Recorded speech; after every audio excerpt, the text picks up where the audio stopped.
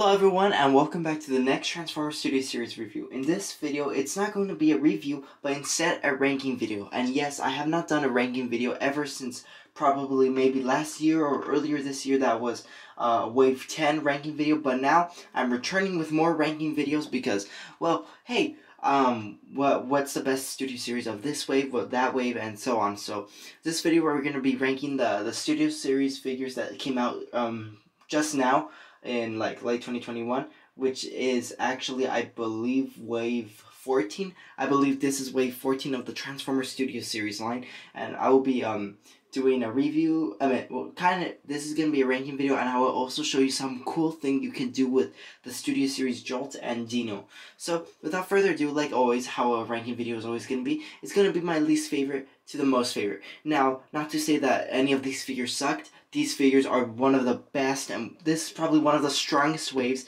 one of the best waves we got from the Studio Series line currently at the moment. So I think that that um, this wave was the best, and personally, many of you are gonna think, ah, why why did the Young Transformer to put this guy at the at the lowest level? It's because well, like these ones are a bit better and stuff. So so yeah, obviously we're gonna start from the from my least favorite to my most favorite, and and um so yeah, that's how uh, that's what's gonna be. So now let's first take a look at my least favorite, but not to say that if the figure sucked, it was really great. But this figure, I'll um is actually just my least favorite. So without further ado, let me show you the least favorite figure out of the way the the wave fourteen. Um, that being the Transformers Studio Series 74 Deluxe Class Bumblebee with Sam Witwicky. Now this figure, honestly, it was a nice figure and all. It came with a miniature Sam figure. I won't bring it out though. Um, it was a really nice figure. Everything about this figure was great. A perfect mold, perfect everything about this figure. Just for a full 360, we can see this figure is absolutely amazing and stuff. There was no there was no um, complaints I had, except probably with the paint applications where that was concerned.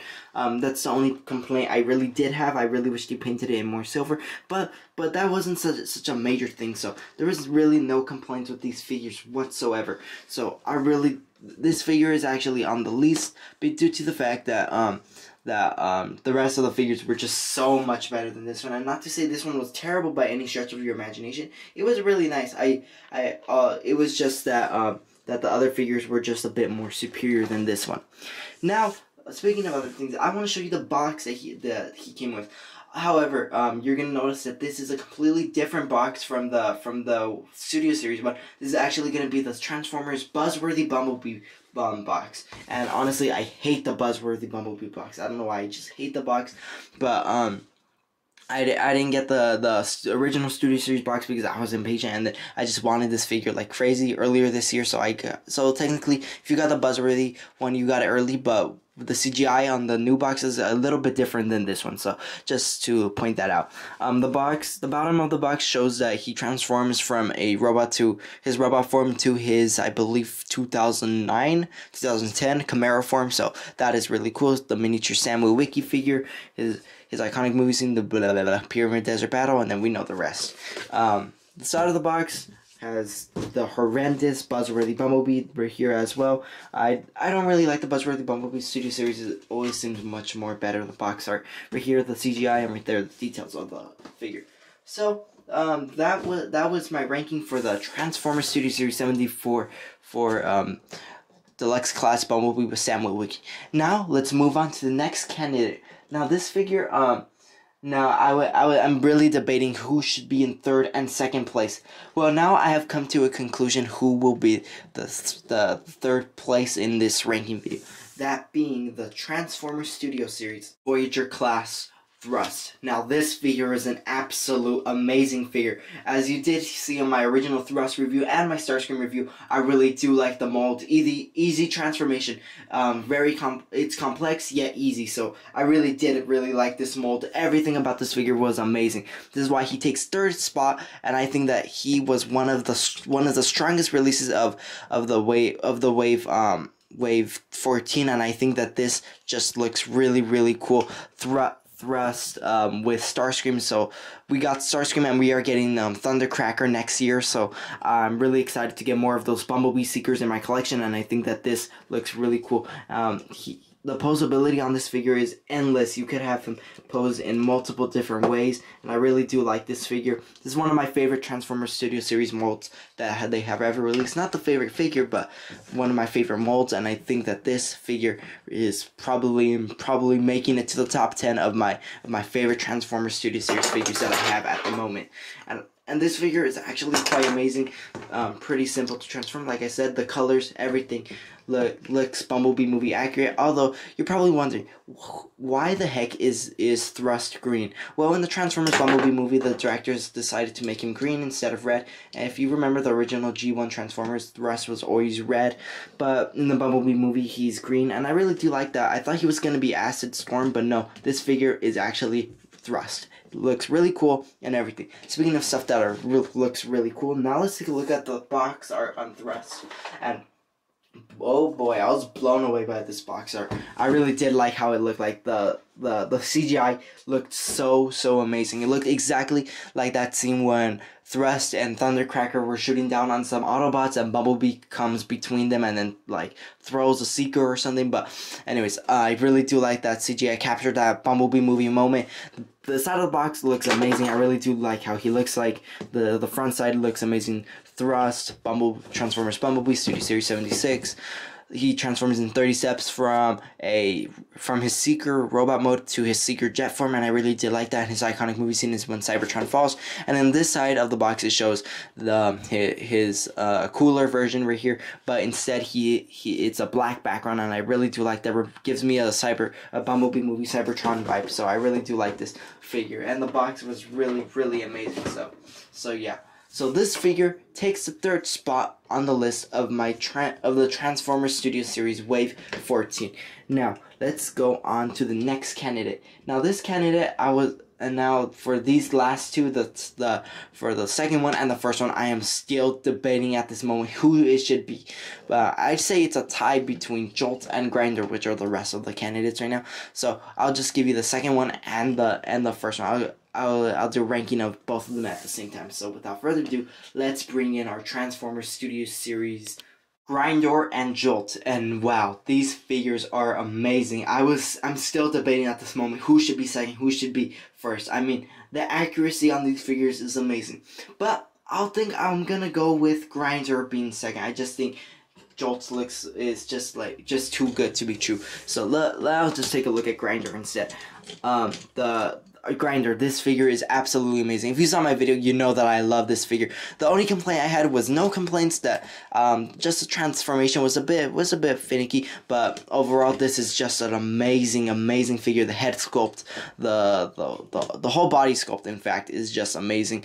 And in fact, this figure is actually compatible with the DNA design kit that came with Sentinel that that that that was released for Sentinel Prime, Blackout, and Bumblebee. So that is really great that this um, figure is compatible with that, and I really do like this figure.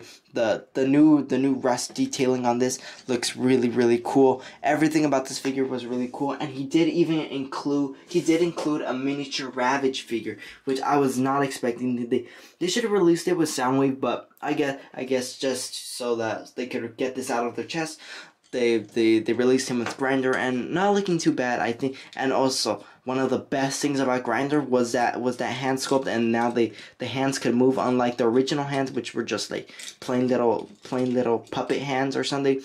They the original hands just look terrible but now these ones make up for it and look so so much cooler. So Yes, um, Grindor takes a second place in the Transformers Studio Series line, and I think that he looks so amazing. And now, speaking of amazingness, let's take a look at the box art he has. Now, and this box art, when I first saw it, when we first saw that um, that listing on eBay, I was all like, no way. And the box art, even up to this day, looks amazing. We have Grindor and Ravage 73. Um, uh, his head right here, we can see he transforms in 46 steps from robot to helicopter mode, and the little miniature Ravage figure, he has the forest fight, that's his iconic movie scene, and right here we get a black black background of of Ravage and Grindor, and I think that this looks really cool, the, the backdrop is amazing, everything about these four figures is amazing, and well, Grindor takes the second place in the Transformers, in the, in the, um, in the Transformers Studios Studio Series Wave 14 Wave 14 um part of the collection. So Grindor takes the second place, and now the one and only Jolt is going to take the first place right now. Jolting his way or electrifying his way to the top, for the first spot of the collection has to go to Transformers Studio Series Jolt. I mean, this is the first movie accurate Jolt figure ever, and it just, it's amazing. I don't know what Hasbro could do better than this figure. It's amazing. This figure is cool. But it's it. This figure was like outside the box thinking. I really do like it. Looks exactly like his CGI render. Um, although we only see him for like 10 15 seconds of the movie that um not that much time but still uh those those little seconds captured from the movie just made this figure and this figure just looks amazing the head sculpt uh, i'm pretty unsure about the head, head sculpt it's a bit obscure but i'll go with it i think it looks amazing um the whips do look amazing and everything the whole figure itself is amazing the the whips the claws, everything about this figure. Even the paint applications was amazing. I had no complaints with this figure whatsoever, except that that you got to be really careful, or else you could chip a piece off, like I showed you my in my initial review. Watch that review if you want to learn more about this Transformers Studio Series Jolts, which came out a few days ago. Um, so yeah, if you if you want to watch that review, watch it. I regret I recommend it.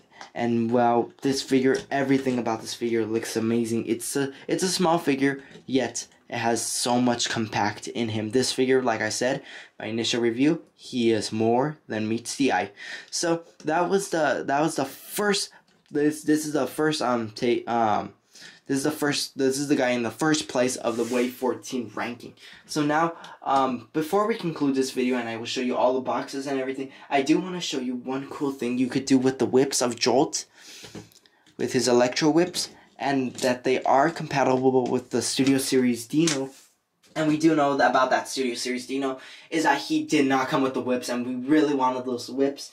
Um, and you can only get them like on upgrade kits or whatnot. But but now with the Electro whips that came with Jolt, well, I, I feel like I feel like um, Has Hasbro just just just made our day with these electro whips. Even though they're not movie accurate, I still put them on Dino to make to make them look like he what he he actually is gonna he's actually gonna whip a hatchet or a Decepticon or something. And I think that this looks really cool. Dino with these whips looks really cool. Although they belong to Jolt, I still th think that these look cool. So I will be displaying Jolt and Dino like this in the collection. I'll be displaying Jolt with his regular fingers and Dino with these electro whips. Cause I mean, come on, Dino without elect with without whips couldn't be Dino. So that that about um, is my Transformers Studio Series ranking video, and now I'm going to show you the boxes and all the figures that that come with with this Wave 14. So, just like that, that was my Transformers Studio Series Wave 14 ranking video. I really hope you enjoyed this video of Wave 14. And tell me if you are or not in the comment section down below, whether you'll be picking all of these figures up, just a few, or, or none of them, in fact. Um, these figures, I recommend them. They are absolutely amazing. These are one of the the best Transformers Studio Series figures ever released. So I I was I'm just real happy to have these figures and I'm so grateful that I have them and everything. Um, 73 Grindor, 74 Bumblebee, 75 Jolt, and 76 Thrust. Now, um, it was really hard to rank these, although like like if if Bumblebee got the first place, he would he would be buzzing his way to the first place, or Grindor got the first place, he would be grinding his way to the first place, or Thrust, he would be thrusting his way to the first place. Place. Uh, I think that all of these figures are just amazing. They I feel like they're all equal to each other. They're just one of the best Transformers Studio Series figures ever. And now be tuned to the, for the channel for 1986 um, Autobot Jazz review, and 19 um I, am sorry, a a Transformers Kingdom Airazor, Dinobot Inferno, etc. and a ranking video of Wave 11, which is actually the 1980 the first 1986 wave. So be tuned on the be tuned on the channel for that. Well, that about concludes my video. This this was your friendly neighborhood Transformer reviewer, the young Transformer dude. Um, I really hope you enjoyed this video. Tell me if you did in the comment section down below. And until my next review, I will see you then. Thanks for watching, and, and I do recommend these figures. Thanks for watching, and goodbye.